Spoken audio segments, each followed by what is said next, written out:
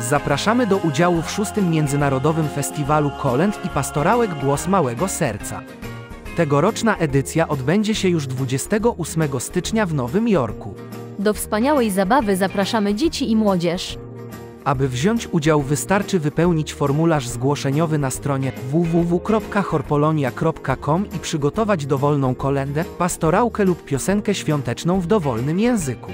Zgodnie z ideą festiwalu, na wszystkich uczestników czekają nagrody, a także nagrody specjalne oraz nagroda Grand Prix, która w tym roku wynosi 1000 dolarów.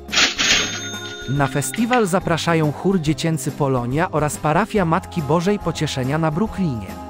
Zapraszamy wszystkich do wspólnego kolędowania i wspaniałej muzycznej przygody.